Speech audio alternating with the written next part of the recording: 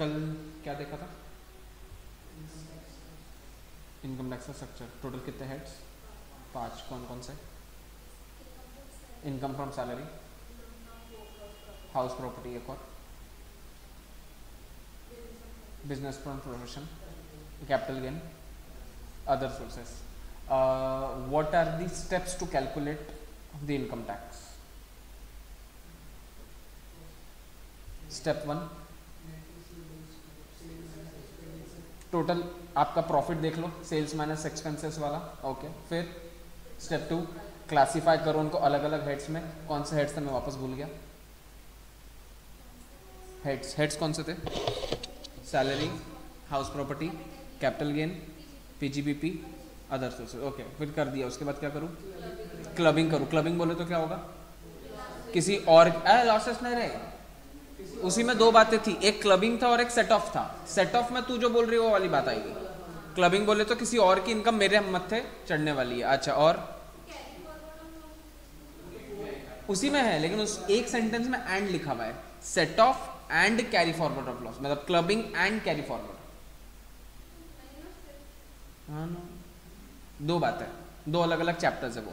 एक चैप्टर है जो क्लबिंग के बारे में बात करेगा, एक चैप्टर है जो कैरी फॉरवर्ड या सेट ऑफ़ के बारे में बात करेगा। सेट ऑफ़ और कैरी फॉरवर्ड एक चैप्टर है बट क्लबिंग एक दूसरा चैप्टर है। ठीक है, उसके बाद?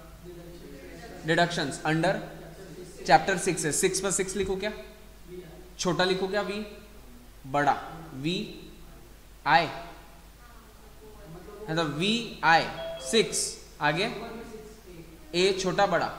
बड़ा। वैसा की वैसा ही लिखना पड़ेगा तुमको। ठीक है? अच्छा डिडक्शंस ले लिया उसके बाद? हाँ।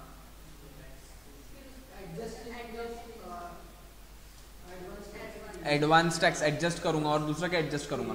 टीडीएस टीडीएस का full form tax deducted at source और उसके बाद में जो इनकम आएगा, उसके हिसाब से मेरे को टैक्स कंप्यूट करना है। क्लियर है यहाँ तक? पक्का? टाइप्स ऑफ़ असेसीज कौन कौन होते हैं? सबसे पहले तो असेसी होता कौन है? जो टैक्स पे करता है, वो असेसी होता है। अच्छा वॉट इफ़ मेरे को टैक्स नहीं आ रहा, मुझे गवर्नमेंट से रिफंड लेना है तो भी मैं असेसी हूँ क्या? है? Any person who is registered under income tax is assessee simple sir मेरे को तो कोई टैक्स आ नहीं रहा है, उल्टा मेरे को तो गवर्नमेंट से लेना है सर गवर्नमेंट से तू क्यों टैक्स ले रहा है? सर मैंने ज़्यादा भर दिया। टीडीएस भर दिया। एडवांस टैक्स मैंने इतना, एक मेरे को लगा कि मेरे को बहुत टैक्स आने वाला है तो मैंने सीधा दस लाख रुपए का टैक्स भर दिया। और पता चला मेरे को अगले दो महीने बाद बहुत बड़ा लॉस हो गया। तो मेरे को टैक्स नहीं आया, उल्टा मेरे को रिफंड क्लेम करना पड़ रहा है गवर्नमेंट से। कि गवर्नमेंट मुझे जो टोटल टैक्स आता है, वो खाली दो ही लाख का आता है, जबकि मैंने तेरे को एडवांस में कितना भर दिया? दस लाख। तो मैं कितना रिफंड क्लेम करूँगा? तो क्या मैं यहाँ पे असेसी हूँ? असेसी कोई भी इंसान हो सकता है। ठीक है? टाइप्स ऑफ़ पर्सन या टाइप्स ऑफ़ असेसीज हैं? Types of assessee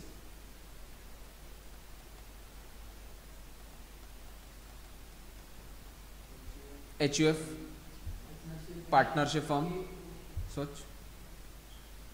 अरे कौन है ये जूम यूज़र नाम?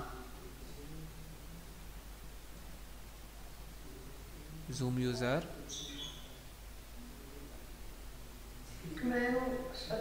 अच्छा ओके इंडिविजुअल सोच सोच सोच सोच. कंपनी कंपनी में दो टाइप्स कौन कौन सी? कंपनी में दो टाइप्स कौन कौन सी?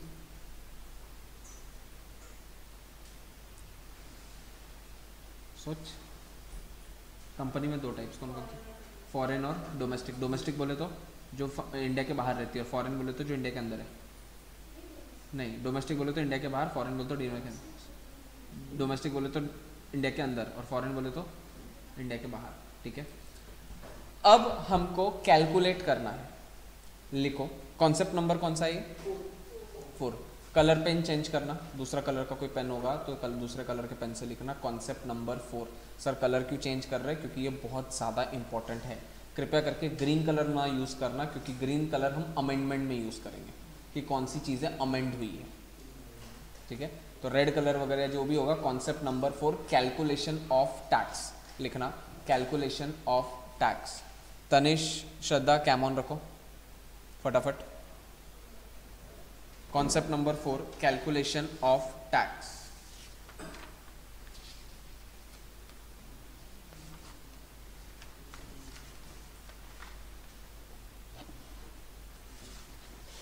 Tanesh Shraddha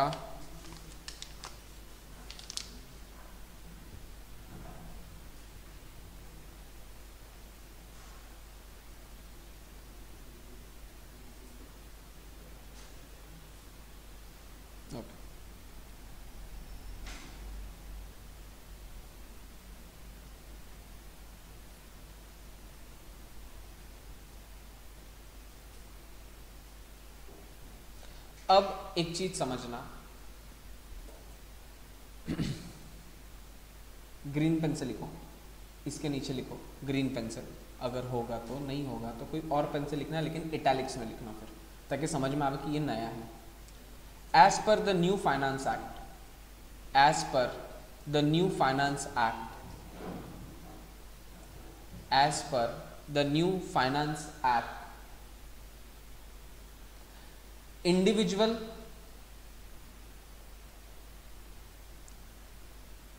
oblique HUF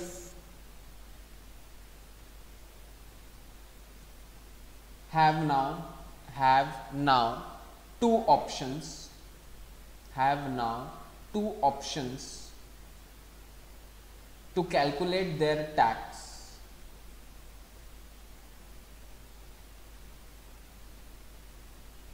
full stop next line. These two options are termed as these two options are termed as these two options are termed as old regime and new regime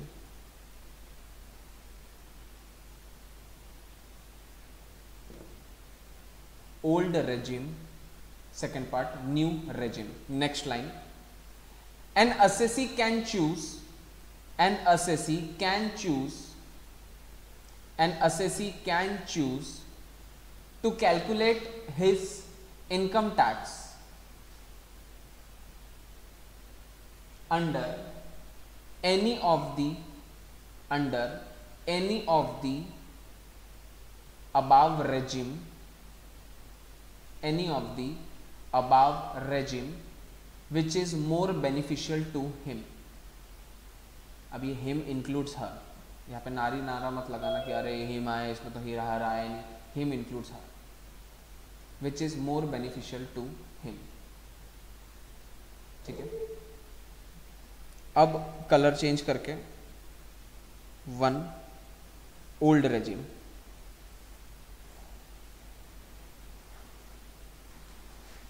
और ये option किसको मिल रहा है? सारे person को मिल रहा है क्या? इंडिविजुअल और एच को मिल रहा है। मैं एच क्या होता है? आई होप मेरे को फिर से नहीं जाना पड़े वहाँ पे कि एच क्या होता है। इंडिविजुअल क्या होता है? एच क्या होता है? ठीक है? कुछ नहीं। ये सिर्फ़ हम जैसे लोगों के लिए इंडिविजुअल के लिए। पार्टनरशिप के लिए पहले भी वही टैक्स रेट था, आज भी वही टैक्स रेट है। ये निर्मला जी ने हमारे लिए एक नया टैक्स रिजिम लाया है। कि सिंस तुम रोते रहते हो तो कुछ ना कुछ हमको और और तो कुछ समझ नहीं आ रहा है हमने इनकम टैक्स में क्या चेंज करना। लेकिन अगर हम कुछ चेंज नहीं करेंगे तो तुम हमको बोलोगे कि हम तो नहीं ठल्ले हैं। तो क्यों ना हम ऐसा कुछ कर ले, जिससे तुम्हारा दिमाग खराब हो जाता तो उन्होंने एक नई स्कीम ला दी। क्या है वो बाद में देखेंगे। पहले ओल्ड स्कीम क्या थी वो देखते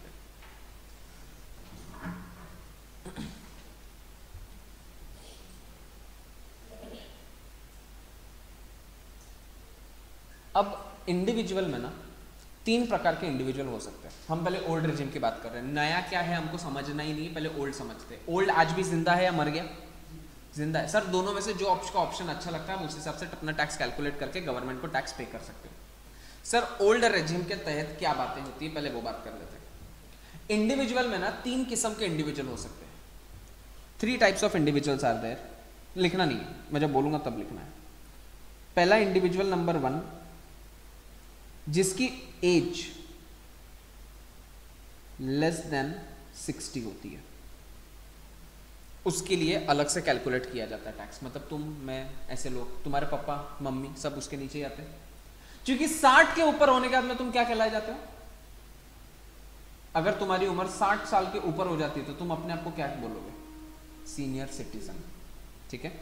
तो second individual individual number two जिसकी age more than sixty more than और equal to sixty but less than eighty मतलब सिक्सटी से लेके सेवेंटी नाइन एट्टी से नीचे बोला तो एट्टी पकड़ूँगा क्या? लेकिन सिक्सटी पकड़ूँगा क्या? क्योंकि सिक्सटी है। सर ना तीसरा इंडिविजुअल नंबर तीन एज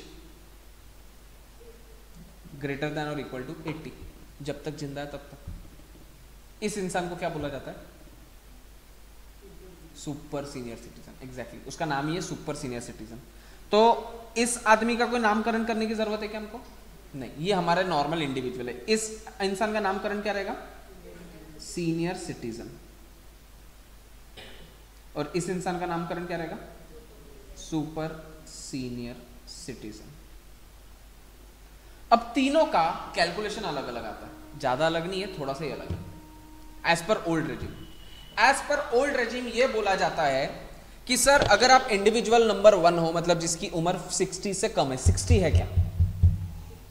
60 हो तो तुम सेकंड में चले गए। सिर्फ़ फ़र्स्ट में हो तुम। तुम्हारी उम्र 60 है, नहीं।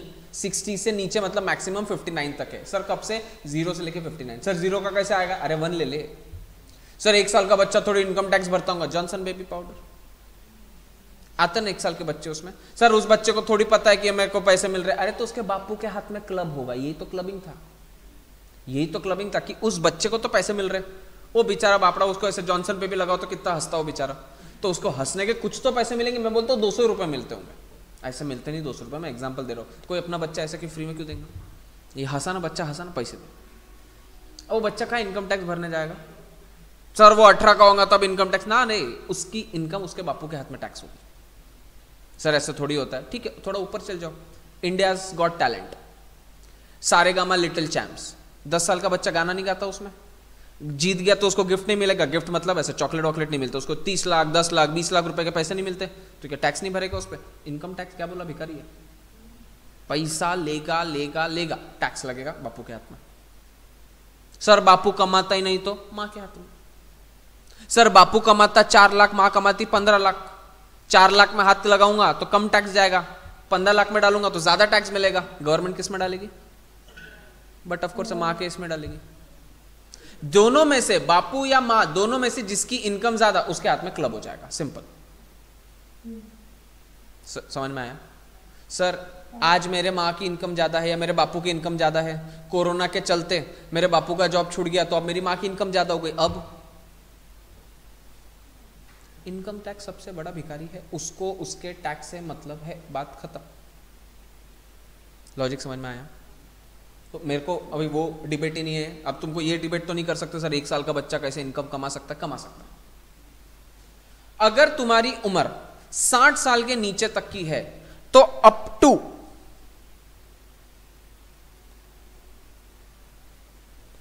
two lakh fifty thousand rupees तुमको ज़ीरो परसेंट टैक्स पे करना up to two lakh fifty thousand rupees तुमको ज़ीरो परसेंट टैक्स पे करना है। तुमको किसी प्रकार का कोई इनकम टैक्स देने की ज़रूरत नहीं है। सर अगर मेरी इनकम दो लाख पचास हज़ार से ज़्यादा, लेकिन अप टू पाँच लाख रुपए है तो आपको इतने टैक्स ब्रैकेट का पाँच परसेंट पे करना होता है। तो पूरे पाँच लाख का पाँच परसेंट बोला क्या? नहीं रे, ढाई से पाँच के बीच का डिफरेंस कितना हुआ? ढाई लाख। अबे ढाई हाँ ढाई लाख का पाँच परसेंट। आर्यभट्टा की औलाद कितना होगा? Twelve thousand five hundred. कर लो। कैलसी लाया क्या? अरे ऑनलाइन वालों, कैलकुलेटर है क्या साथ में? ट्वेल्व थाउज़ेंड फाइव हंड्रेड, उसको इतना टैक्स पे कर देना सर वॉट इफ़ मेरी कमाई चार लाख की होगी तो? तो भी ढाई लाख का पाँच परसेंट ही करूँगा क्या मैं गधे जैसा? सर, ढाई लाख से चार लाख तक कितना होता है? डेढ़ लाख डेढ़ लाख का पाँच टक्का। जितना भी आ रहा होगा, साढ़े सात हज़ार, साढ़े सात हज़ार। डिफरेंस उस टैक्स ब्रैकेट के अंदर कितना पैसा है तुम्हारा? उसका डिफरेंस सर मैंने दो लाख चालीस हज़ार कमाए। कितना टैक्स भरू? ढाई लाख तक माफ़ है क्यों टैक्स भर रहे हो? दो लाख साठ हज़ार कमाए। दो लाख साठ हज़ार कमाए। अब ऊपर कितना ज़्यादा है? ढाई लाख तक तो माफ़ था। टू लाख फिफ्टी थाउज़ेंड तक तो टैक्स ही नहीं भरना है मेरे को। ऊपर का कितना आया? दस हज़ार। दस हज़ार का पाँच टक्का। पाँच हज़ार। पाँच हज़ार का टैक्स भर दो। पाँच सौ sorry sorry sorry so sorry पाँच सौ। एग्जामेशन क्लेम कर लो, दस हज़ार रुपए जो भी एग्जामेशन आते होंगे, जैसे कल तुमको बताया ट्यूशन फ़ीस वगैरह का, दस हज़ार की ट्यूशन फ़ीस बता दो। नहीं सर हमने तो बीस हज़ार दिया। अरे दे ना क्या फ़ायदा होगा? बीस हज़ार कर दिया तो क्या होगा? दस हज़ार दे दिया तो भी क्या होगा? आएगा तो ढाई लाख के अंदर ही ना। तेरे को गवर्नमेंट के पैसे वापस देंगे ओ हो तूने बच्चों को पढ़ाई ले, मैं तेरे को पैसा देती हूँ। वो तो नहीं मिल रहा ना तेरे को। ज़्यादा से ज़्यादा रिफंड किस चीज़ का मिलेगा कि तुमने गवर्नमेंट को एडवांस टैक्स के चलते पाँच हज़ार भर दिया? जबकि टैक्स तुमको कितना आ रहा है अब? पाँच तो भर दिया तुमने पाँच हज़ार एडवांस टैक्स में। तुमको ऐसा लगा कि ओ माय गॉड हमको बहुत सारा टैक्स आने वाला लेकिन तुमको टैक्स आया नहीं। तो तुम रिफंड क्लेम कर लो सिंपल ठीक है?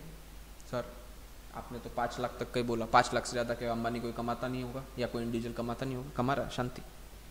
अगर मेरी कमाई पाँच लाख से ज़्यादा है अप टू टेन लैक्स तो इस पर्टिकुलर ब्रैकेट का ट्वेंटी परसेंट मुझे टैक्स भरना है। दस बस कुछ नहीं मिल रहा सीधा ट्वेंटी।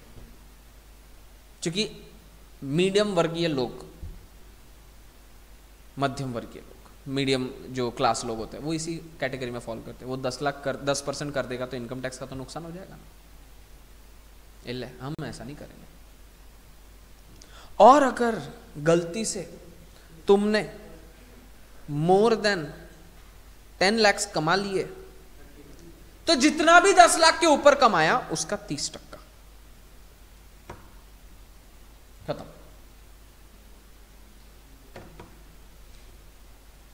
समझा क्या? जितना भी कमाया। Let's say for an example अच्छा ये स्लैब पर जाना, है, अब तुमको सपोज़ मैंने बोला सात लाख। क्या क्या more than ten lakhs more हाँ हाँ हाँ मैं बस यही बोलने जा रहा था, यही गलती करने वाले हो। तो मैंने बोला, तुमने तुमने कमाया बारह लाख। तो बारह लाख को ऐसे मत करना, दस लाख का बीस परसेंट दो लाख और ऊपर का दो लाख का तीस परसेंट साठ हज़ार, दो लाख साठ हज़ार, मर जाओगे तुम। टप्पे टप्पे में जाना है तुमको। अगर मैं तुमको बोलता हूँ, तुमने बारह लाख कमाए तो पहला टप्पा कितने का? ढाई लाख का। कुछ लगना है क्या? छोड़ दो, ज़ीरो। दूसरा टप्पा कितने का? ढाई लाख से पाँच लाख। क्या पूरे पाँच लाख एग्जॉस्ट हो जाएँगे इसमें? मेरे को तो बारह तक पहुँचना है ना तो ये तो पूरा आ ही रहा है। तो इस ढाई लाख का पाँच परसेंट। बारह हज़ार पाँच सौ एम प्लस तुम्हारे कैलकुलेटर में एम प्लस बारह हज़ार पाँच सौ एम प्लस मैं पाँच लाख तक पहुँचा। जाना कहाँ तक था मुझे? द, ए, दस नहीं बारह तक जाना मेरे को। तो अगला टप्पा कितने का? दस लाख तक का। तो पाँच लाख से दस लाख का। टैक्स ब्रैकेट कितना? नहीं नहीं पाँच लाख। पाँच लाख का कितना टक्का? बीस परसेंट। पाँच लाख का बीस टक्का। एक लाख एम प्लस अभी तक मैं कहाँ तक पहुँचा? दस लाख। जाना कहाँ तक है? बारह लाख। अब दस लाख से आगे का टप्पा कितने का? दो लाख। दो लाख का कितना टक्का? तीस टक्का। तीस परसेंट। कितना हुआ? साठ हज़ार। M plus memory return one lakh seventeen thousand five hundred five five एक लाख सत्रह हज़ार पाँच सौ बोले? एक लाख बहत्तर हज़ार पाँच सौ। ओके एक लाख बहत्तर हज़ार पाँच सौ। पक्का। श्योर वॉट इफ़ मैंने साठ साठ लाख सॉरी छह लाख नब्बे हज़ार कमाए। कितना कमाए? छह लाख नब्बे हज़ार six lakh ninety thousand calculate the amount of income tax that I have to pay to the government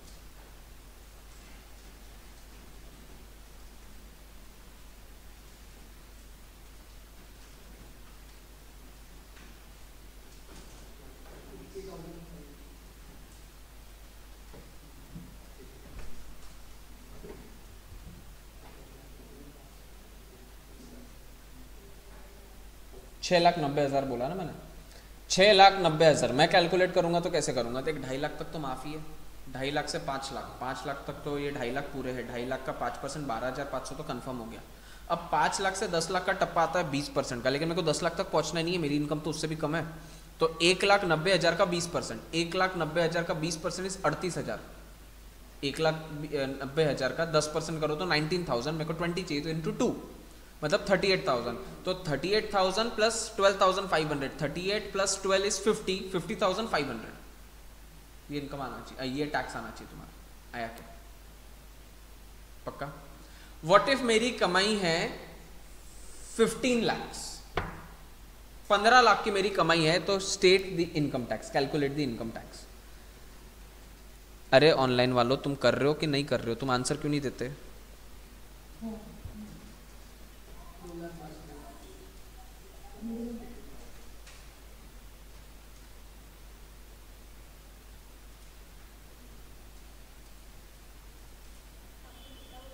पंद्रह लाख फिफ्टीन लैक्स अगर मेरे को कोई दस लाख के ऊपर बोलता है ना तो मैं क्या तिगड़म करता हूँ, मालूम है क्या? दस लाख तक तो सेम अमाउंट आने वाली है। तो मैं याद कर लेता हूँ कि पहला जो ब्रैकेट है टप्पा, उसमें तो ज़ीरो आता है। दूसरे टप्पे में साढ़े बारह आता है, तीसरे टप्पे में एक आता है। मतलब दस लाख तक कैलकुलेट करने की ज़रूरत ही नहीं। एक लाख बारह हज़ार पाँच सौ ऐड कर लो दिमाग में। अब दस लाख के ऊपर था पाँच लाख। पाँच लाख का तीस टक्का। डेढ़ लाख। डेढ़ लाख में एक लाख बारह हज़ार पाँच सौ ऐड कर लो। आंसर आना चाहिए।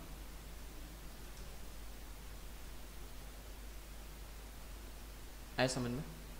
पक्का? श्योर? मैक?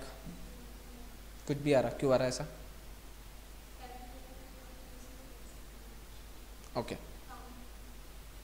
ठीक है ना? एम प्लस मत कर साइड में लिख ले। मैं को कैलकुलेट करके देखिए if my income is four lakh eighty thousand four lakh eighty thousand if my income is four lakh eighty thousand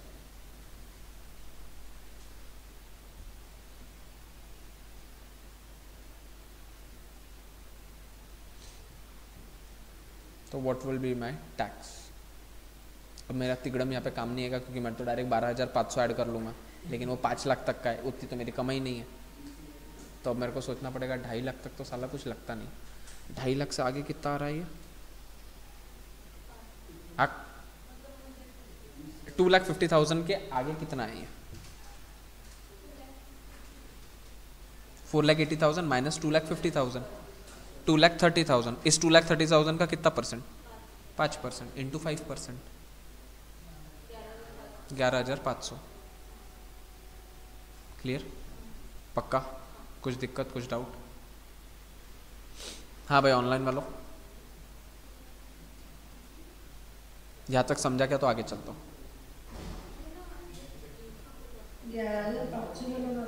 eleven thousand five hundred बोले ना रे? Eleven thousand five hundred.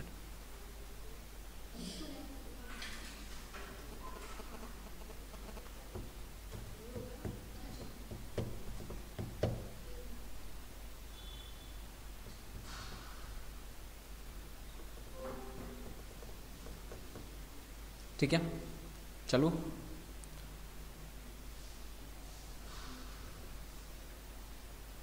अब।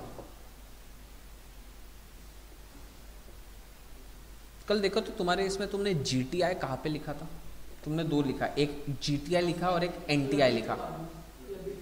बराबर? एक नया चीज़ है इसमें, जो अपने फायदों के लिए है। अपन मतलब अपन एस एस माए बाप जो बैठा वो इनकम टैक्स वाला।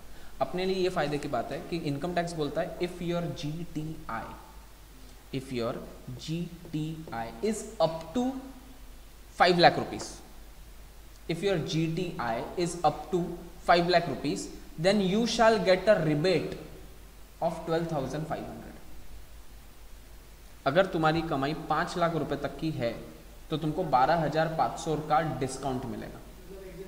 बेसिकली पाँच लाख तक तुमको इनकम टैक्स नहीं लग रहा। क्योंकि पाँच लाख अगर तुम कमाई करते हो तो तुमको टैक्स कितना आता है? बारह हज़ार पाँच सौ। और रिबेट कितने का मिल रहा है? बारह हज़ार पाँच सौ। ज़ीरो तो पाँच लाख तक तुमको इनकम टैक्स लग रहा है क्या? लेकिन टोटल कमाई पाँच लाख डिडक्शन हाँ? लेस करके पाँच लाख नहीं बोला मैंने। जीटीआई बोला मैंने एनटीआई नहीं बोला मैंने। है? नहीं। ढाई लाख से पाँच लाख का डिफरेंस स्लैब ही पाँच लाख तक का है। समझा क्या क्या बोल रहा हूँ? अगर तुम्हारी कमाई पाँच लाख रुपए तक की है तो तुमको किसी प्रकार का टैक्स पे करने की ज़रूरत नहीं है। सर, मेरी कमाई छः हज़ार छः लाख पचास हज़ार है। और मैंने डेढ़ लाख रुपया पीपीएफ में डाला, जिसका एटीसी में मेरे को डिडक्शन मिलता है। तो छः लाख पचास हज़ार में से डेढ़ लाख माइनस करने के बाद में मेरे हाथ में बचा पाँच लाख। अब इस पाँच लाख पे तो मेरे को बारह हज़ार पाँच सौ का रिबेट मिलना चाहिए। नहीं मिलेगा। तुम्हारा एनटीआई पाँच लाख का है। मैंने एनटीआई पाँच लाख की बात ही नहीं किया। मैंने तो बोला जीटीआई पाँच लाख का होना चाहिए। डिडक्शन के पहले। डिडक्शन करके तुम कर क्लेम कर लोगे तो गवर्नमेंट बोलेगी, मैं पागल हूँ क्या? तेरे को डेढ़ लाख का डिडक्शन भी दू। इधर पाँच लाख का बेनिफिट भी दू। हमको टैक्स ही नहीं भरना। मतलब तो साढ़े छह लाख तक तेरे को टैक्स नहीं लगने वाला ऐसे नहीं होने वाला। समझा? पक्का? कहानी अभी खत्म नहीं हुई। तुम जो भी टैक्स निकाले ना अभी तक, उसके ऊपर कंपल्सरीली एजुकेशन सेस लगता है। जैसे तुम आईटीसी की किताब खरीदते हो, कोई आईटीसी का प्रोडक्ट खरीदते हो तो तुम्हारे वो पीछे लिखा हुआ रहता है कि out of the amount you pay to I ITC one rupee we give to the student to the needy person वैसे ही तुम जितना भी टैक्स पे करते हो, उसका चार परसेंट सेस के नाम पे एक्स्ट्रा लिया जाता तुमसे। तो सपोज़ फॉर एन एग्ज़ाम्पल तुमने बोला कि सर मैंने इस साल की कमाई किया छ आठ लाख रुपए। इस साल मैंने इनकम कमाया आठ लाख रुपए की। तो तुम्हारे हिसाब से टैक्स कितना आता है? चब पागल है क्या? पाँच लाख तक तो माफ़ है। सॉरी पाँच लाख तक तो बारह हज़ार पाँच सौ आता है। तीन लाख के ऊपर बीस परसेंट मतलब साठ हज़ार, साठ लाख प्लस बारह हज़ार पाँच सौ, बहत्तर हज़ार पाँच सौ। तुम बोलोगे, इतना ही हम टैक्स पे करेंगे। गवर्नमेंट बोलती है, इस पर चार परसेंट ऐड कर। Plus four percent this is your tax payable to the government सबको, दुनिया में हर इंसान को, जो एक रुपए का भी टैक्स पे कर रहा है, उसको चार परसेंट सेस के बाद ही करना है। Cess is just like a wrapping gift wrapping paper तुम किसको भी गिफ्ट दे रहे हो, तुमको गिफ्ट रैप करना ही पड़ेगा। तुम्हारा गिफ्ट छोटा हो या बड़ा उससे कोई फ़र्क नहीं पड़ता। तुमको चार परसेंट सेस ऐड करके ही गवर्नमेंट को पे करना पड़ेगा। ऑप्शन ही नहीं है तुम्हारे पास। चार परसेंट का सेस तुमको देना पड़ेगा। में? पक्का? सीनियर सिटीजन इसका एक खत्म हुआ सर इंडिविजुअल जिसकी एज 60 साल के नीचे तक की थी। सर वॉट इफ़ हमारा एक ऐसा इंडिविजुअल है जिसकी एज 60 से ज़्यादा है बट 80 तक है? सीनियर सिटीजन ज़्यादा याद रखने की ज़रूरत नहीं है। सीनियर सिटीजन को, जो नॉर्मल सिटीजन को कितने तक का माफ़ था? इसको up to three lakhs zero percent three lakh से लेके पाँच लाख तक। पाँच परसेंट पाँच लाख से दस लाख तक। बीस percent more than ten lakhs तीस परसेंट कुछ मगजमारी किया क्या मैंने? अब यहाँ पे बारह हज़ार पाँच सौ मत कर देना। हाँ हाँ सर, तिगड़म अच्छा है आपका। पाँच लाख तक तो बारह हज़ार पाँच सौ। अरे गदेड़े वो डिफरेंस ढाई लाख का पाँच परसेंट था। अब डिफरेंस तेरा कितना है? दो ही लाख का, दो लाख का पाँच परसेंट है तेरा। सेम सेम सेम सेम हाँ।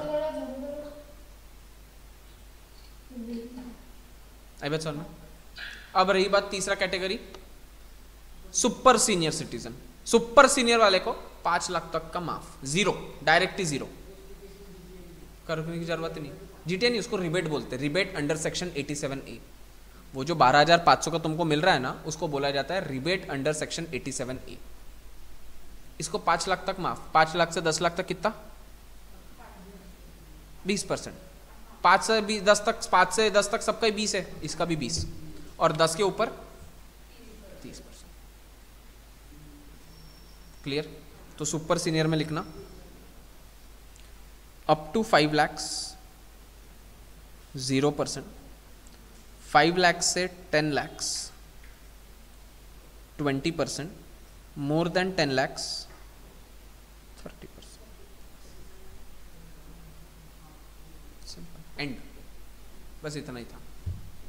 और इन सब के बाद में आप करोगे ऐड चार परसेंट का सेस इसमें नीचे मैं एक नोट लिख देता हूँ। Note if G T I is up to five lakhs the shall claim rebate under section 87A up to rupees twelve thousand five hundred up to क्यों लिखा मैंने? सर, अगर आपकी कमाई अगर चार लाख की होगी तो आपका टैक्स कितना आ रहा है? आए आए। वैसे नहीं रिबेट के पहले रिबेट के पहले। अगर तुम्हारी इनकम चार लाख तक की है तो तुम्हारा टैक्स कितना आ रहा है? ढाई लाख तक माफ़, ढाई लाख से चार लाख, डेढ़ लाख। डेढ़ लाख का पाँच टक्का, साढ़े सात हज़ार। ठीक है?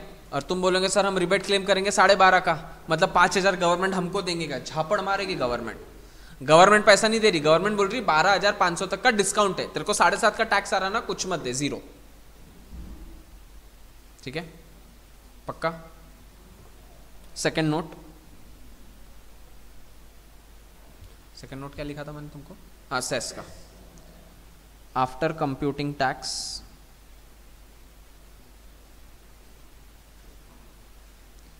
cess at the rate four percent is to be added at the end. ठीक है? और तीसरा इंपॉर्टेंट है, इसलिए कलर चेंज तीसरा एनी नॉन रेसिडेंट बोले तो? जो फॉरेन का इंसान है of any age will be will not be getting, na na, will not be getting a benefit of his age. मतलब वो अगर 200 साल का भी होगा तो उसके ढाई लाख तक ही माफ़ होगा। जबकि इंडिया का 200 साल का आदमी कितना माफ़ करेगा? पाँच लाख तक का। उसको ये सब बेनिफिट नहीं मिलेगा। वो हमेशा इंडिविजुअल नंबर वन में कैलकुलेट होगा। तो नॉन रेसिडेंट की एज जो भी हो, तुमको लेने देना नहीं उससे। क्या ही लेना देना तुमको? आई बात समझ में?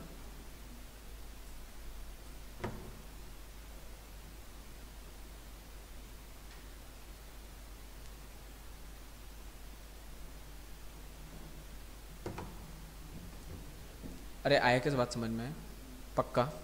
फटाफट लिख लो अपने इस पर अच्छा ये ओल्ड है या न्यू है? ठीक है ना? अच्छा अब एक करने से एक तीर दो निशान। तुमने ये पढ़ लिया ना ऑटोमेटिकली एचयूएफ भी पढ़ लिया। एचयूएफ का भी सेम है। बट एचयूएफ में उम्र हो सकती है क्या किसी की? उम्र थोड़ी रहेगी तो वो ढाई लाख, पाँच लाख, दस लाख, वो वाले कॉन्सेप्ट में आता है। मतलब इंडिविजुअल नंबर वन फ़र्स्ट क्योंकि उसमें उम्र तो होती नहीं है। एच की कितनी उम्र है, कैसे बताएगा? कर्ता की उम्र हो सकती है। एचयूएफ की उम्र कैसे होती है? तो उसके लिए ये फ़र्स्ट वाला जो है, अपना वही काम करता है।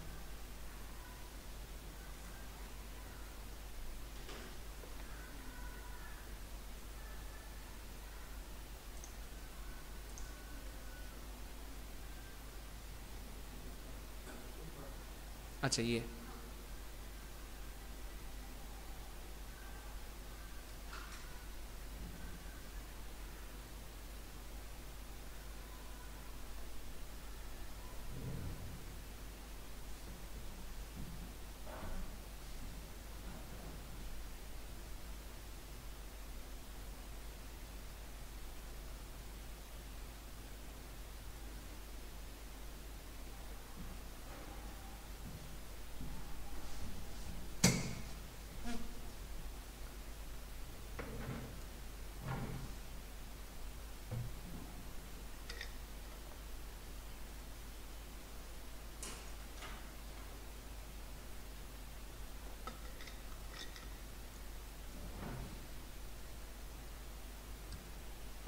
आई होप तुमको कैलकुलेशन समझ रहे कैसे करना है। एकदम से नहीं आएगा, थोड़ा बहुत तो और प्रैक्टिस लगेगी बट एटलीस्ट कैलकुलेटर पे कैसे कैलकुलेट करते वो आना चाहिए। और हो सके तो ये वाले कैलकुलेटर्स ना यूज़ करते हुए वो जो सिटीजन के आते हैं ब्लैक वाले, वो वाले यूज़ करो। वेदांश और दोनों, जो नॉर्मल वाले आते हैं। इसकी आदत हो गई अच्छा। तीनों के वही है, सालों साथ में लिए थे क्या? जी टी वी टी है क्या उसमें? है ना?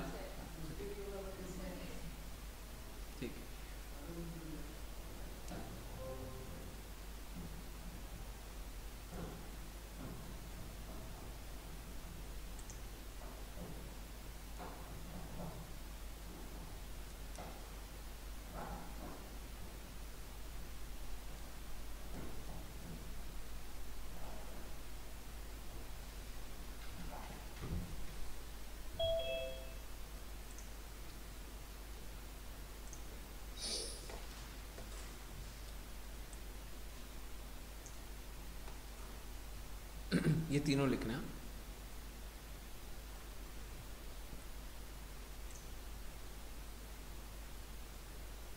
अपना स्ट्रक्चर ऐसा रहने वाला है कि जैसे अपन एक चैप्टर कर रहे उसके तुमको एक लास्ट में, अभी तुम लिख तो तुम पूरा बुक में रहे हो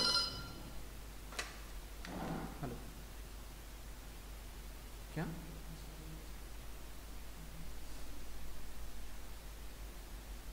अरे बाप रे नहीं कुछ तो नहीं उसको नीचे नीचे भेज दो। नहीं, नीचे नहीं फ़र्स्ट फ्लोर पे उनको पूछ लो मुकेश का जो है वहाँ पे ऊपर पूछ लो। कौन आया भाई? एक्सीडेंट हो गया बोले।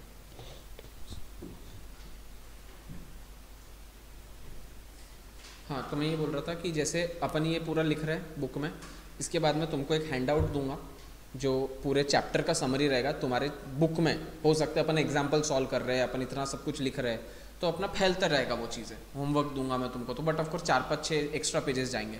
तो सपोज़ कोई चैप्टर है जो तुम्हारा बीस पेज में हो रहा है, तुम्हारे नोटबुक में, उसी की समरी पाँच से सात पेज में एक हैंड आउट दूँगा जो तुमको फ़ाइल में अटैच करके रखनी है और एक बुकलेट रहेगा जिसमें तुम्हारे क्वेश्चन आंसर्स रहेंगे। वो तुमको सॉल्व करना है। तो अगर तुम चाहो तो ये बुक में सॉल्व करो या उसके लिए कोई सेपरेट बुक बना लेना कि उसमें सिर्फ़ और सिर्फ़ क्वेश्चन आंसर सॉल्व करने रहेंगे। सर हमको तो एम सी क्यू हम क्यों सॉल्व करेंगे? करना वही पड़ेगा, क्योंकि पूरा करोगे तब जाके एम सी क्यू जमेगा। डायरेक्ट नहीं एम सी क्यू आने वाला। हो गया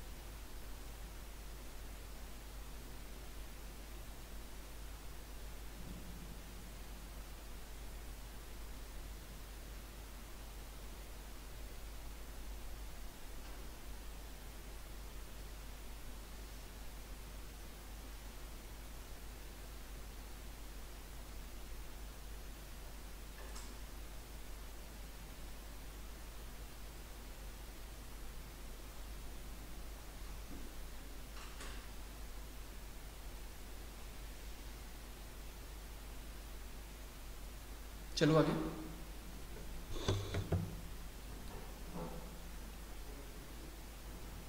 हम्म?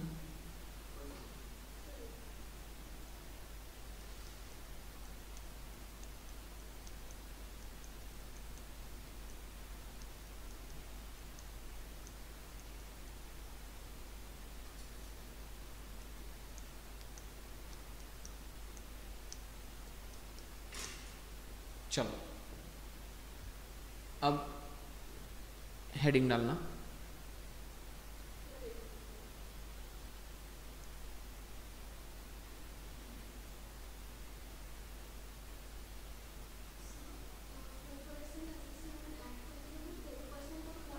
Tax four percent of tax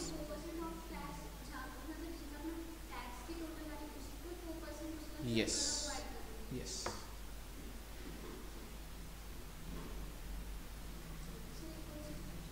पूछना। हाँ हाँ पूछना।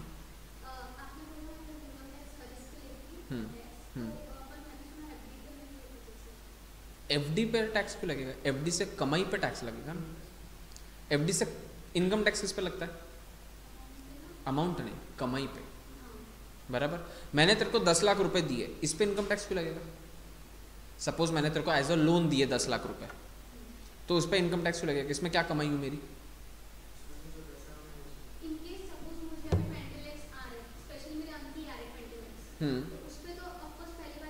बिल्कुल।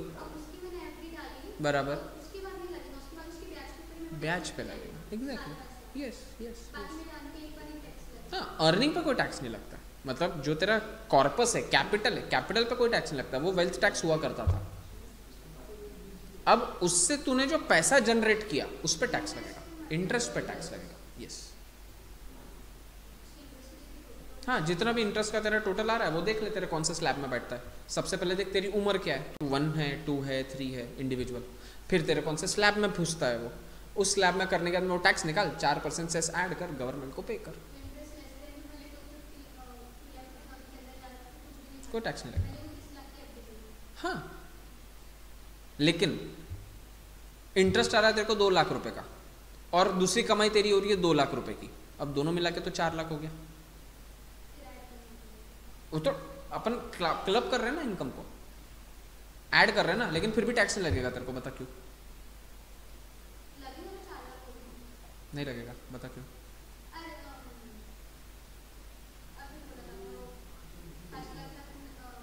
रिबेट मिलेगा तेरे को बारह हज़ार पाँच सौ का तो तेरे को टैक्स ऐसे नहीं लगना। क्लियर पक्का? चलो। अब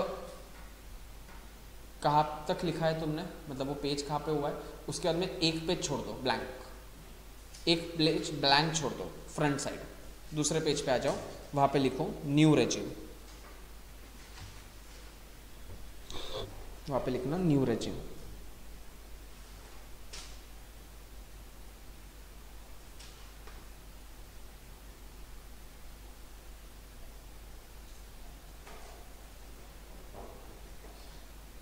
दिक्कत ये है, लोग बोल रहे थे कि सर, कितनी नाइंसाफी है, पाँच के डायरेक्ट बीस बीस के बाद डायरेक्ट तीस, ऐसा थोड़ी होता है। मतलब पहली सीढ़ी का पाँचवीं सीढ़ी चढ़ सकते चढ़ते कर सीधे। थोड़ा तो कुछ बेनिफिट दो। तो हमारी सीता माँ ने सोचा, सीता रमन, कि बात तो सही है। और एज सच मेरे पास में कुछ नया लाने को भी है नहीं, क्योंकि मैं फाइनेंस मिनिस्टर तो हूँ। बट मेरी डिग्री फाइनेंस वाली थोड़ी है। ज़िंदगी में एक ही फाइनेंस मिनिस्टर देखा, जिसके पास में एक्चुअल फाइनेंस की डिग्री थी, मनमोहन सिंह जी। भाई इकोनॉमिस्ट थे उसके बाद में कोई एडवोकेट बन रहा है सीए को रेलवे मिनिस्टर बनाया जा रहा है। ज़िंदगी में टाइम पास चले जा रहा है। तो अब सीतारमन जी को बोला कि आपको टैक्स के जगह पे बिठाया है मतलब आप फाइनेंस एक्ट में बैठे हो तो कुछ तो नया लाओ। तो होता है ना कि अपन को कुछ नया करने बोलो तो कलर चेंज कर देते अपन तो वो नया हो गया। तो वैसे उन्होंने एक नया रेजिम लाया। बोले, देखो, तुम, तुमको दर्द क्या हो रहा है कि तुमको पाँच के बाद डायरेक्ट बीस मिल रहा है, उसका दर्द है ना तुमको। बीस के बाद डायरेक्ट तीस मिल रहा है, उसका दर्द है ना, लाओ, मैं तुम्हारा दर्द कम करती हूँ। तो उन्होंने न्यू रेजिम लाया, मेरे साथ में लिखना। As per new regime as per new regime new slab rates are बोले, देखो बच्चों, मैं तुमने क्या लाई हूँ? खाओ। Up to two lakh fifty thousand zero percent देखो ओ हो हो नया है। Exactly two lakh fifty thousand से लेके फाइव लैक्स तक। कितना?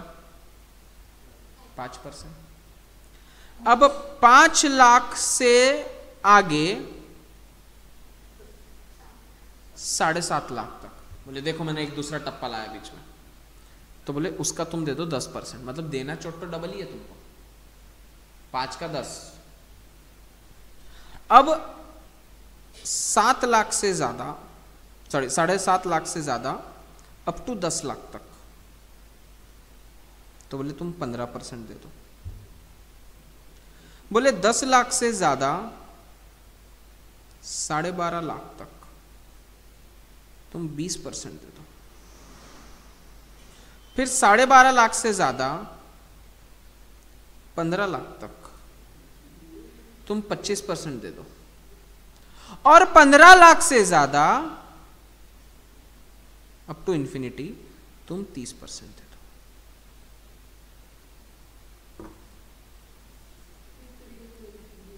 है ना? बेनिफिट भी है ना? टैक्स परसेंटेज कम हो जाएगा। कहा, बीस लगने वाले थे मेरे आठ लाख के ऊपर डायरेक्ट अब आठ लाख पे लगाने को मेरे को दस और पंद्रह लगेंगे। मेरा बेनिफिट हो रहा है यहाँ पे। है ना? मैंने भी तुम्हारे जैसा ही सोचा था। नहीं नहीं नहीं नहीं सेस कभी ज़्यादा नहीं होता। सेस चार परसेंट हाँ फिक्स सेस में कुछ कुछ कुछ नहीं चेंज होता सेस में। नहीं नहीं नहीं नहीं, वो भी कुछ कुछ नहीं चेंज होता इसमें। कुछ भी नहीं सबसे पहला तो दिल ये धोखाधड़ी कर देगा, ये पहला है कि इसमें उम्र कोई भी हो, तुमको यही है। तुम बुढ़े हो या महा बुढ़े हो, तुमको है तो यही। तो मैंने बोला कि चल कोई बात नहीं, साठ साल तक तो है मेरे पास, आगे का आगे, उसके अंदर कमाई रहेंगी का भगवान जाने। तो जब ये न्यूज़ पे चल रहा था मतलब वो आता ना बजट में बैठा था तो ये चल रहा था कि अब से ऐसा टैक्स होगा। मैं बोला, ओह, फ़ायदा हो गया यार। अब छह लाख कमाने वाले को बीस परसेंट नहीं देना है डायरेक्ट छह लाख कमाने वाले को कितना देना है? दस ही देना है। बच गया। अच्छा आया मेरे को। कम से कम दस परसेंट तो सेव हुआ। फिर सीता जी ने से चुपकी डाली बीच में से। बोले, ये सब ठीक है। डिडक्शन नहीं दूँगी एक भी। वो जो डेढ़ लाख डेढ़ लाख के डिडक्शन मिल रहे थे ना, इल्ले अब कुछ नहीं मिल रहा डायरेक्ट स्लैब में घुसड़ डाला। अब ये डिडक्शन कम से कम तीन लाख रुपए मेरे बचाते होंगे। डेढ़ लाख का एटीसी बचाता है, उसके बाद में एटी टी टी ए वाला बचाता है एटी दूसरे सेक्शन है यू वाले बचाता है। अब वो कुछ नहीं मिलेंगे। कुछ नहीं मिलेगा। जितनी कमाई है उस पर टैक्स भर दो। उल्टा नुकसान है मेरा इसमें। फिर लोगों ने चिल्लाया अच्छा चलो चिल्लाओ मत। एक काम करो। मैंने बनाते टाइम सोचा नहीं था इतना। अब तुमने इतना सोच लिया तो एक काम करो, मेरे को समझ नहीं आ रहा सिचुएशन कैसे हैंडल करना है। एक काम करो ऑप्शनल तुमको ओल्ड में भरना है ओल्ड में भरो न्यू में भरना है न्यू में भरो। लेकिन ये मत बोलना, मैंने तुम्हारे लिए कुछ काम नहीं किया। देखो मैंने किया। भले तुम्हारे काम बढ़ा के रखे मैंने, लेकिन किया ना। तुमने क्या बोला? काम करो। अच्छे काम करो बोले क्या तुम?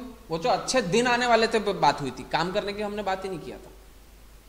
तो इसमें if you are opting this section you are not going to you are not you will not be eligible to claim the deductions under chapter 6 से except two or three sections. खत्म।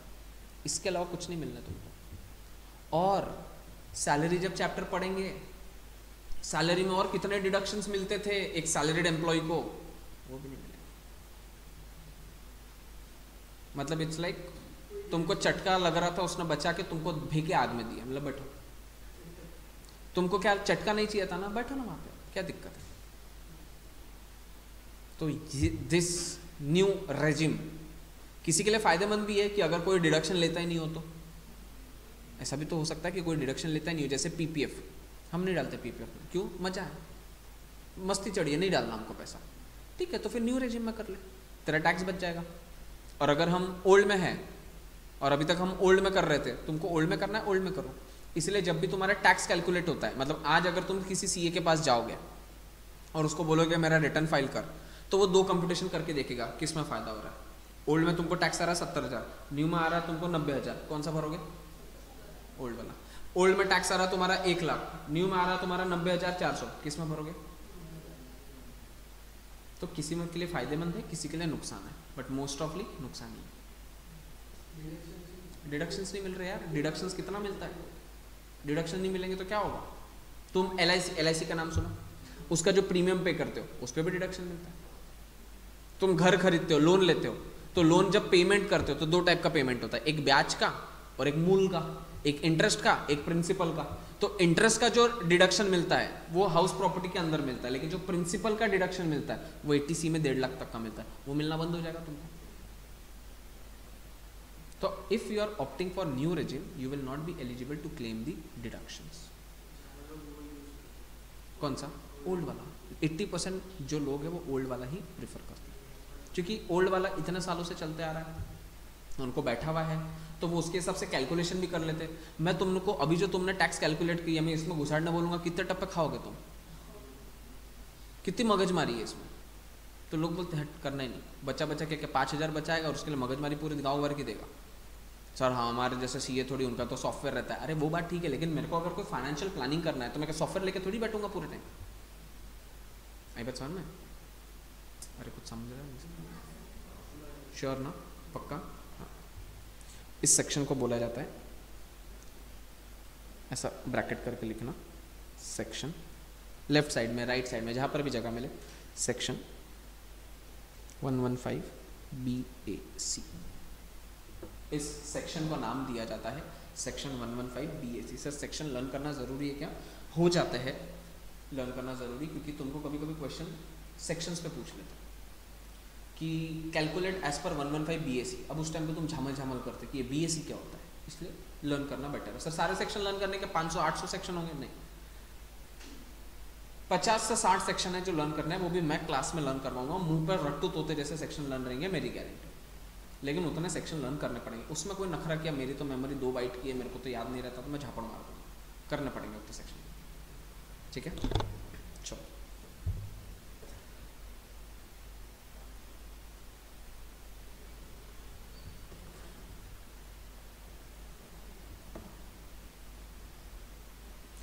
इसके नीचे लिखना। अब जो लिख रहा हूँ, एक पैराग्राफ लिखना है तुमको। लिखो फटाफट। As per section one one five B A C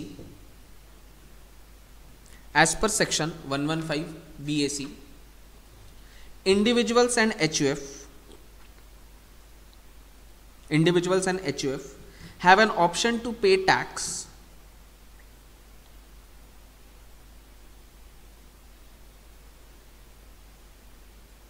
in bracket other than income in bracket other than income chargeable to tax at special rates other than income chargeable to tax at special rates like like LTCG like LTCG under section under section को ऐसे लिखने का, under section. 112 under section 112 और 112 A, comma S T C G S T C G under section. Triple one A, under section. Triple one A, comma comma. Casual income casual income etc at the at the concessional rates at the concessional rates as stated above.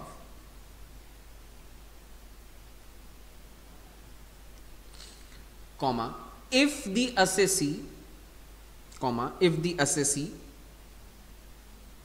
does not avail if the assessee does not avail certain exemptions if the assessee does not avail certain exemptions oblique deductions like LTC LTC that is leave travel concession comma standard deduction standard deduction under the head salaries standard deduction under the head salaries LTC comma standard deduction standard deduction under the head salary comma interest on housing loan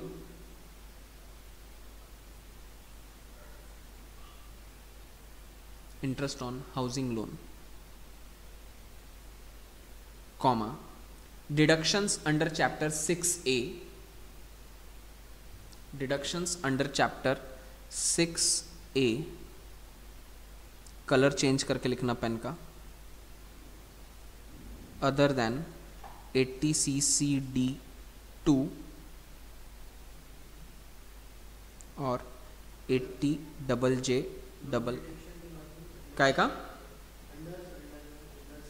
Under chapter six A under chapter six A और इन bracket colour change करके ये लिखना।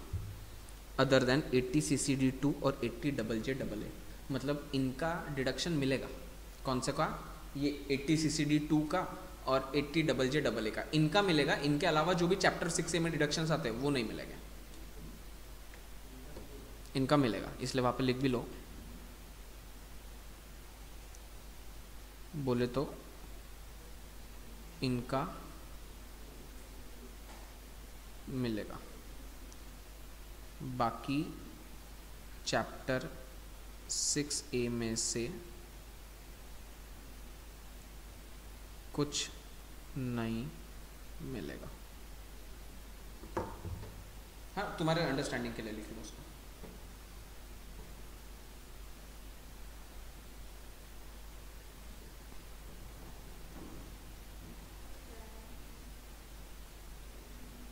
कौन सा क्या है? ये मिलेगा। है? किसमें? हाँ हाँ होते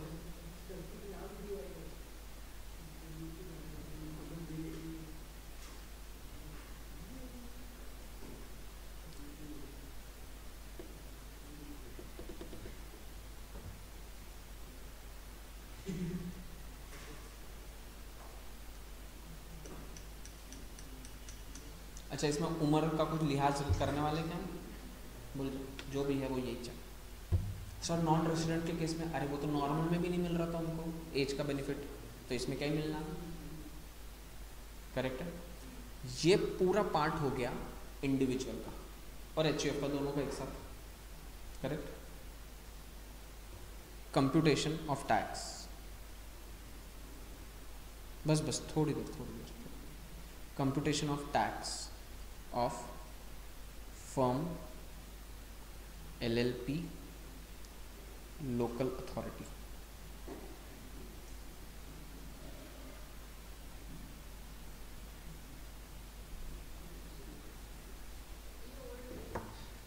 Old new सिर्फ़ इंडिविजुअल एच के लिए था। अब खत्म हो गया ओल्ड न्यू कॉन्सेप्ट ही खत्म हो गया फर्म एलएलपी या लोकल अथॉरिटी इन पे कितना टैक्स लगता है? फ्लैट थर्टी परसेंट सर, ये फ्लैट का मतलब क्या है? कोई स्लैब ही नहीं है। सर, जितना, कितना कमाया आपने? दो सौ रुपये तीस टक्का दे दो। सर, दो सौ रुपये में क्या तीस टक्का, ढाई लाख तक माफ़, कोई माफ़ी नहीं है। स्लैब है ही नहीं। क्यों कमाया दो सौ? मैंने बोला कमाने को, तीस टक्का तो देना पड़ेगा। Flat thirty percent. Local authority बोले तो अमरावती म्यूनिसिपल कॉरपोरेशन, ग्राम पंचायत तू जो पंचायती करता वो पंचायत। कोई भी टाइप का जो लोकल अथॉरिटी है तुम्हारा। बॉम्बे म्यूनिसिपल कॉरपोरेशन बीएमसी ठीक है? तुमने, तुम्हारी फ़ोटो खींची उन्होंने। क्यों खींची? बिना मास्क के थे। दो सौ रुपये कमाए। कमाए ना दो सौ? तीस टक्का। चलो दो।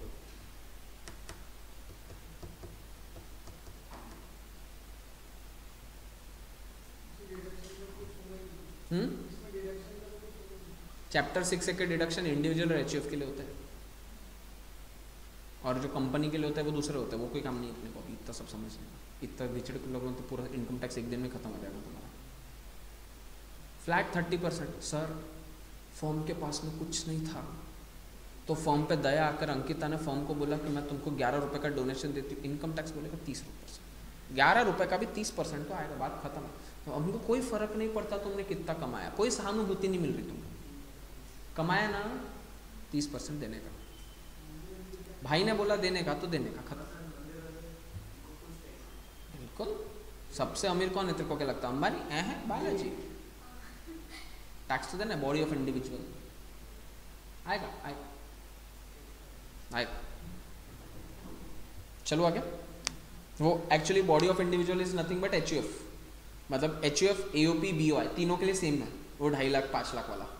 तो एक काम कर लो नीचे लिख दो और इसके नीचे लिख दो computation of tax for computation of tax for H U F A O P B O I उसमें लिखने का up to two point five lakhs zero percent two point five lakh से फाइव लैक्स पाँच परसेंट पाँच लाख से दस लाख, बीस percent, more than ten lakhs, तीस परसेंट।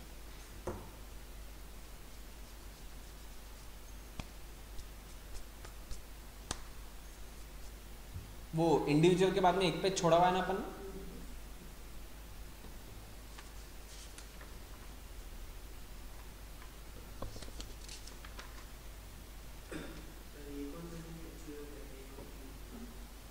अच्छा तो कल था नहीं इसके लिए। मैं वही बोला, ऐसा क्यों पूछ रहा तू एच यू एफ़ बोले तो हिंदू अनडिवाइडेड फैमिली जो घर घर में बनाते अपन H U F mummy papa बच्चे H U F Hindu undivided family association of person जब दो तीन लोग मिलकर आके काम करते हैं। पार्टनरशिप फॉर्म नहीं बना रहे, बस थोड़े दिन के लिए, थोड़ी देर के लिए आके काम कर रहे और बी बोले तो ये जो ट्रस्ट वगैरह, मंदिर वगैरह जो होते हैं वो। Clear computation of tax for cooperative society ये उधर लिखना है क्या? क्या? नहीं ये नीचे वाला पार्ट पहला तुमने इंडिविजुअल लिखा फिर फर्म लिखा फिर तुमने वो एच वाला लिखा नीचे आओगे कोऑपरेटिव सोसाइटी ज़्यादा मगजमारी नहीं है कोऑपरेटिव सोसाइटी में भी. Up to ten thousand rupees की अगर आपकी कमाई है दस परसेंट टैक्स भर दो. मतलब दस परसेंट तो है ही है ज़ीरो परसेंट है क्या कहीं पर भी? दस हज़ार से ज़्यादा कमाया, बीस हज़ार तक का। तो दे दो बीस परसेंट। और मोर देन बीस हज़ार कमाया तुमने। सॉरी तो लिख दो तीस परसेंट। दस बीस तीस। दस बीस तीस। मतलब ज़ीरो, दस बीस। अप टू दस हज़ार, दस परसेंट। दस हज़ार से ज़्यादा, बीस हज़ार तक, बीस परसेंट। बीस हज़ार से ज़्यादा तीस परसेंट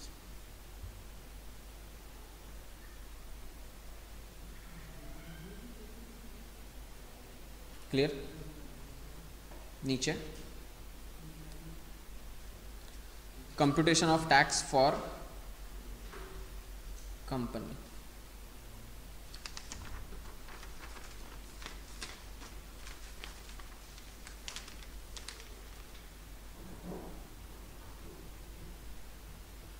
इसमें तीन। पहले डोमेस्टिक कंपनी की बात कर लेते हैं।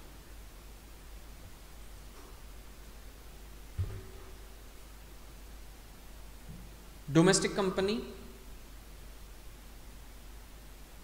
flat thirty percent कितना भी कमाया कंपनी ने तीस टक्का गया। फॉरेन कंपनी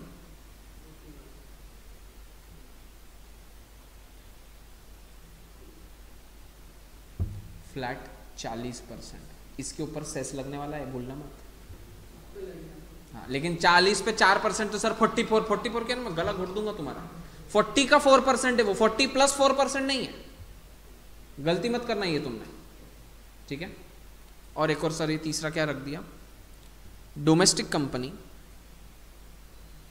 सर, चढ़ गई, ऑलरेडी लिखा हुआ है अरे रुकना domestic company having turnover. Of less than या up to 400 crores in previous year 2019-20 अगर आपकी ऐसी डोमेस्टिक कंपनी थी जिसने 2019-20 में जो मैक्सिमम टर्नओवर है, वो 400 करोड़ तक का किया होगा। बेसिकली उस टाइम पे स्टार्टअप कंपनी के लिए नई स्कीम्स लगी थी कि अगर आप नई कंपनी चालू कर रहे होंगे तो हम आपको बेनिफिट देंगे। तो अगर आपने 19-20 में आपका टर्नओवर 400 करोड़ से कम है मतलब अप टू 400 करोड़ मतलब तुम छोटी कंपनी हो तो तुमको इंस्टेड ऑफ़ 30 परसेंट तुमको लगेंगे 25 परसेंट पाँच परसेंट का बेनिफिट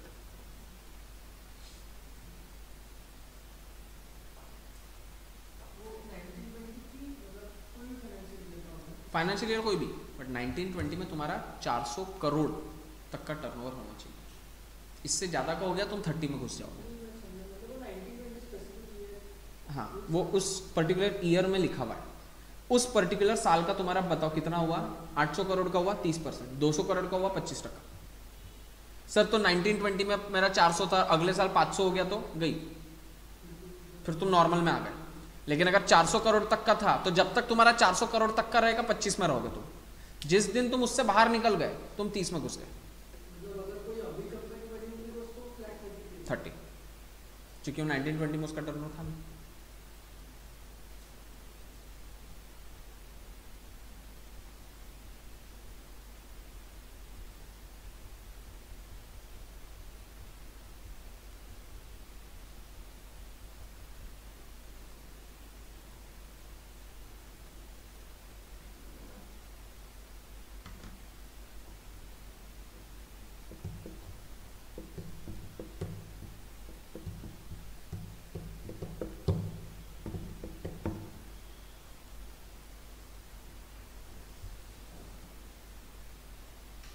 हुआ।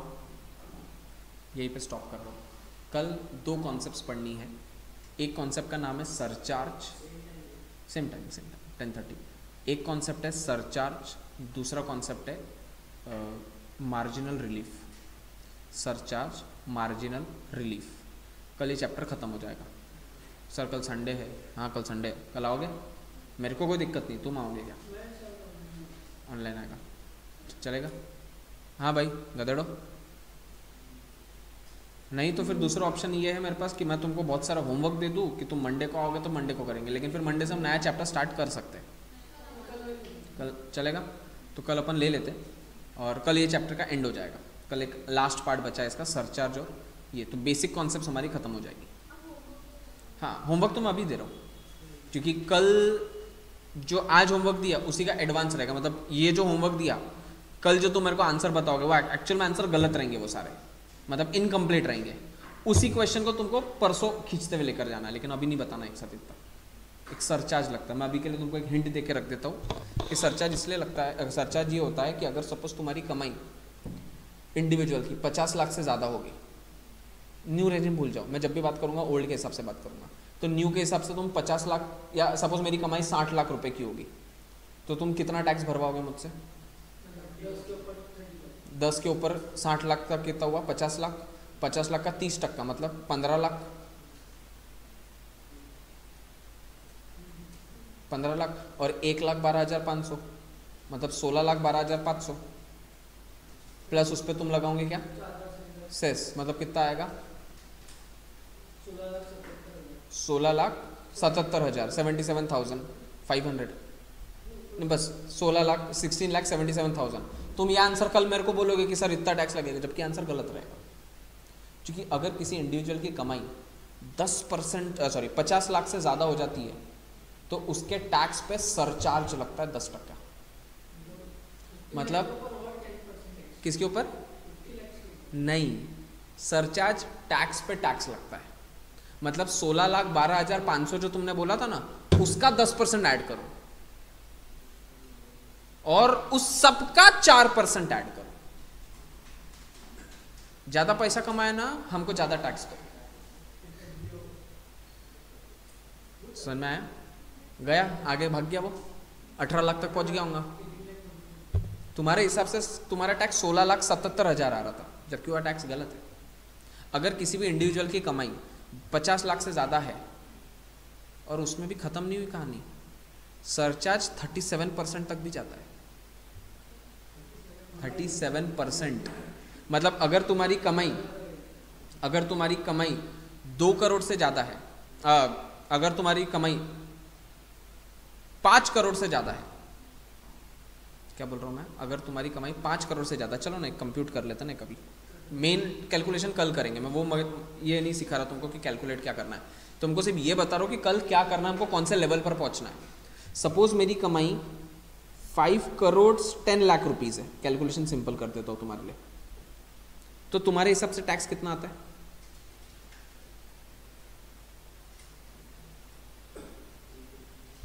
पाँच करोड़ दस लाख, उसमें से दस लाख माइनस कर दो तो बचे पाँच करोड़। पाँच करोड़ का तीस टक्का, डेढ़ करोड़ मतलब एक करोड़ पचास लाख। एक करोड़ पचास लाख प्लस एक लाख बारह हज़ार पाँच सौ। एक करोड़ इक्यावन लाख, बारह हज़ार पाँच सौ प्लस नहीं नहीं नहीं, तुम्हारे हिसाब से। आज आज जितना पड़ा प्लस फोर परसेंट मतलब कितना आया? ए, पंद्रह लाख किधर आए रे? क्या? अबे, डेढ़ करोड़ तो नॉर्मली आ रहा तो पंद्रह लाख पे किधर आ गए तुम? बोल अमाउंट बोलो one one seven triple zero मतलब अगर मैंने पाँच करोड़, दस लाख कमा लिया गलती से तो गवर्नमेंट को कितना देना मेरे को? एक करोड़ सत्तावन लाख रुपए दे देना है। बट ये गलत है। अब मैं तुमको बताता हूँ, सही कितना आने वाला है एज पर इनकम टैक्स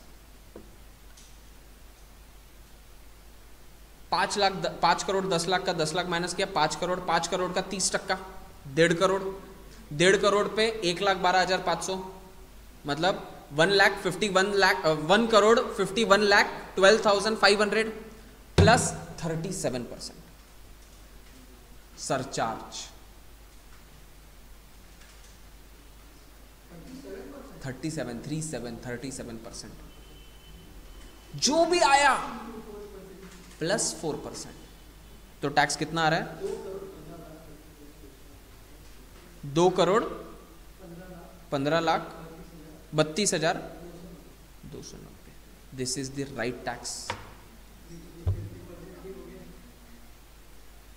तो आज हमने यहाँ तक का पढ़ा कि तुमको ये स्टेप वन कैलकुलेट करते हैं, जो बेसिक सिंपल स्टेप थी। कल उसी का एडवांस जाएँगे हम यहाँ पे। कि एक्चुअल में तुम्हारे हिसाब से तुमको लग रहा है कि इतना टैक्स बना इतना नहीं बना इतना बना मतलब साला पाँच करोड़ कमा के दो करोड़ तो इसको दे दिया। हाथ में घर में तीन ही करोड़ लेकर गया और तुमने अभी लिखते लिखते देखो, कहीं तो भी कैजुअल इनकम वर्ड लिखा। Fifty one one five B में। कैजुअल इनकम का मतलब ये होता है कि जो इनकम तुमको कैजुअली मिल गई। एग्ज़ाम्पल कौन बनेगा करोड़पति? उसका मैं तुमको बता दूँ फ्लैट थर्टी परसेंट टैक्स होता है। पहला क्वेश्चन कितने रुपए का होता है केबीसी का? दस हज़ार। पहले शायद एक हज़ार का आता था। एक हज़ार का है ना? तुमने सपोज़ एक क्वेश्चन का आंसर दिया। उसने तो, उसने तुमको पूछा कि विबग्योर कलर में कितने कलर्स होते हैं? V I B G Y O R सात। चार ऑप्शन थे। तीन दो पाँच सात। तुमने बोला सात। बोले लॉक कर दो, बोले लॉक कर दे। बोले सोच ले। मतलब हाँ सोच लिया। देख बोले आंसर चेंज नहीं करता मतलब नहीं करना चेंज लाइफ लाइन यूज़ करना क्या? नहीं करना है। कंप्यूटर जी लॉक करने बोल दूँगा कर दे। लॉक कर दे। मुबारक को हज़ार रुपए मिले। हज़ार का तीस परसेंट गया। तीन सौ रुपया गवर्नमेंट खा गई तेरा। उसी सेकंड खा गई तेरा। टीडीएस काट के हाथ में सात सौ रुपया मिलेगा तेरे को। तो साला सात सौ रुपए के लिए इतनी फुटेज खाया भाई साहब। और ये सिर्फ़ इस पे नहीं है।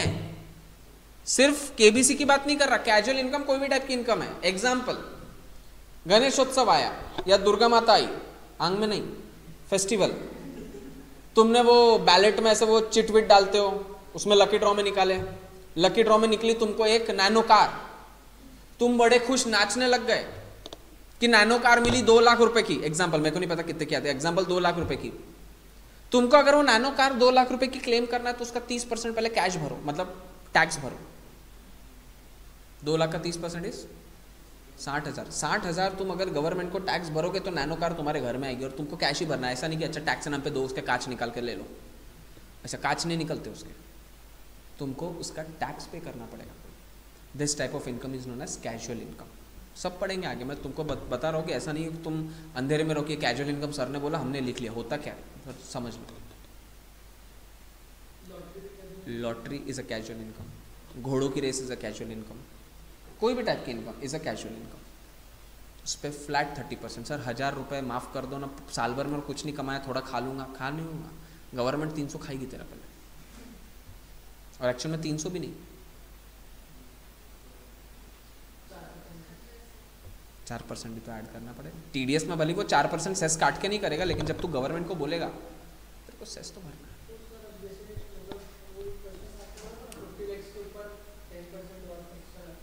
हम्म हम्म।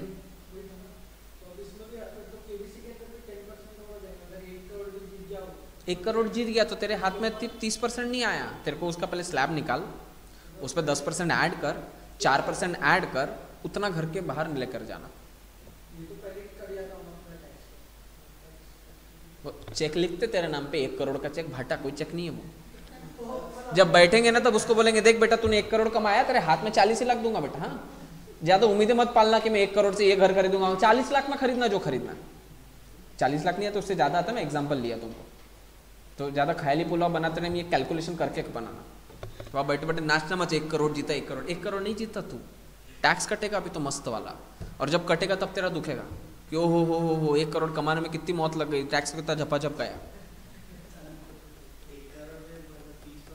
तीस परसेंट प्लस दस परसेंट सेस प्लस चार परसेंट का सेस दस परसेंट का सरचार्ज प्लस चार परसेंट का सेस और उसमें आने जाने में तेरा खर्चा, रुकने का तेरा खर्चा, चाय पानी पिया उसका खर्चा कमाया एक करोड़, घर में दो ही लाख आए।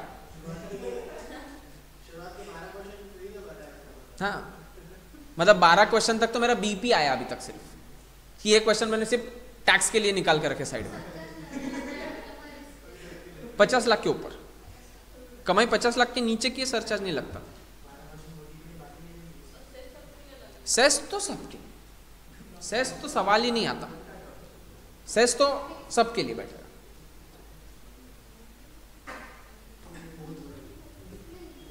क्लियर है? कुछ डाउट अरे अरे, कहा जा रहे? कहा जा रहे हो? होमवर्क तो लिख लो।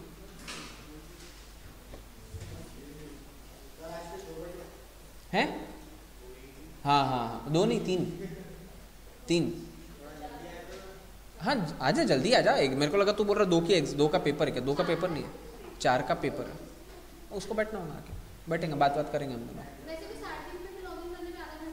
हाँ बैठा था अच्छा किस किस का है आज? तनिष तेरा भी ईटी है ना?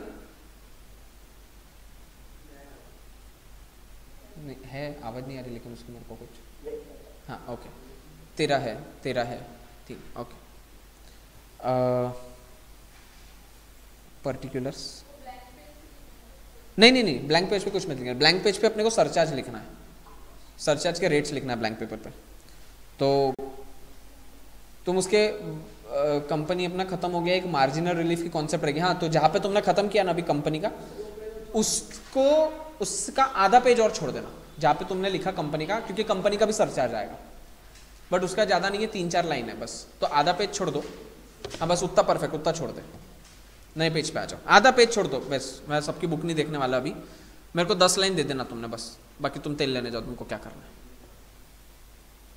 पर्टिकुलर्स एज इनकम यहाँ पे लिखना है टैक्स तीन कॉलम मैं भर रहा हूँ, पहले क्या, चौथा तुमको भरना है।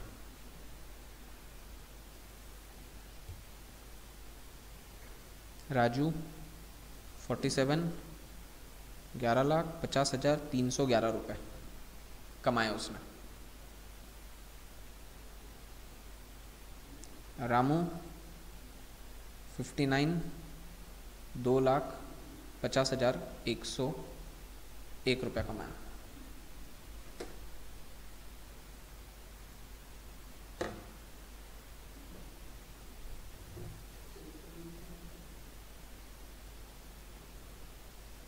अंकिता सेवेंटी थ्री ग्यारह हज़ार रुपये कमाए। बस पेंशन क्या है पैसे तेरे को और कुछ नहीं कमाती तू? कार्तिक, नब्बे साल। तीन करोड़ ग्यारह लाख। तीन करोड़ ग्यारह लाख ग्यारह हज़ार एक सौ ग्यारह रुपये बैंक लूटा था उस साल उसने। मनी हिस्ट सर चोरी के ऊपर भी टैक्स लगता क्या?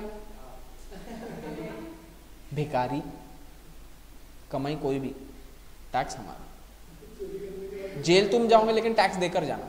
जाना ना तो चाहो टैक्स दे स्मगलिंग का भी लाया, कोई बात नहीं, लाया ना तुमने, ओहो, बहुत गंदा काम किया सुगले लेकिन टैक्स देकर जाओ तो स्मगलिंग पे कैसे टैक्स देंगे स्मगलिंग स्मगल किया तभी ना कि Third year हो गया नहीं पता। क्या हो गया? नहीं। श्रद्धा। Sixty seven. पंद्रह लाख। दस हज़ार। अमेजोन अब इसमें एज तो लिखूँगा नहीं अमेजोन की कोई काम है क्या एज का? अमेजोन पचास करोड़। फ्लिपकार्ट तीन सौ crore.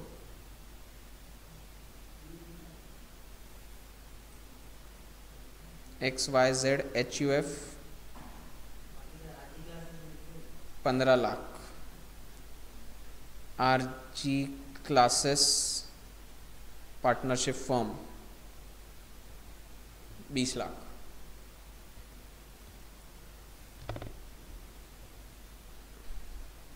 अमूल। सत्तर लाख।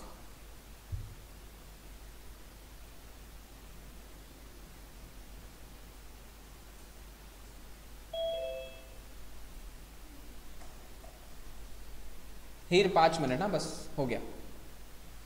बस इतना ही करो। अब ये जो इंडिविजुअल्स है राजू रामू अंकिता कार्तिक श्रद्धा इनका दोनों के हिसाब से कैलकुलेट करना है। ओल्ड भी न्यू भी। ठीक है? सेस ऐड करने के बाद का आंसर देना। सेस ऐड करना मत भूलना। ठीक है? Cess cess education cess secondary and higher education cess होता था, अभी एग्रीकल्चरल सेस है, वो मैं लिखवा दूँगा। हाँ हाँ। उस सेस का नाम होता है हेल्थ एंड एजुकेशन सेस पहले हायर एंड सेकेंडरी हायर होता था, अब उसका नाम होता है हेल्थ एंड एजुकेशन सेस ठीक है? पक्का? ये होमवर्क करके आना है, याद से। ये हो गया तो तुम्हारा बेसिक्स खत्म हो गया सब कुछ। ठीक है? इसके बाद सबसे टेरिफाइंग चैप्टर जिस पे तुम्हारे शायद नहीं कम तो भी पंद्रह से बीस क्वेश्चन आते हैं। इनकम टैक्स में पंद्रह से बीस क्वेश्चन ये एक ही चैप्टर से आएँगे, इसके बाद वाला जो चैप्टर है। खतरनाक है, अपन उसको बहुत ईजी वे में कर लेंगे, क्योंकि तुम पूरा बुक में लिखने वाले हो। वो लंबा चलेगा थोड़ा, शायद दस लेक्चर तक जा सकता है, जिसका नाम है पीजीबीपी तुम्हारे सीनियर्स को पूछ लेना पीजीबीपी के कितने क्वेश्चन आते हैं। सीनियर्स को नहीं भी पूछा तो, तो अपन होने के बाद में पेपर सॉल्व करेंगे तब तो तुम समझ जाएगा कि पूरा पेपर ही पीजीबीपी से भरा हुआ है। किसी इंसान ने पीजीबीपी छोड़ के गया एग्ज़ाम में तो एग्ज़ाम के बाहर ही आ जाना सीधा। कोई काम नहीं बैठ कर उसका वहाँ पर ठीक है?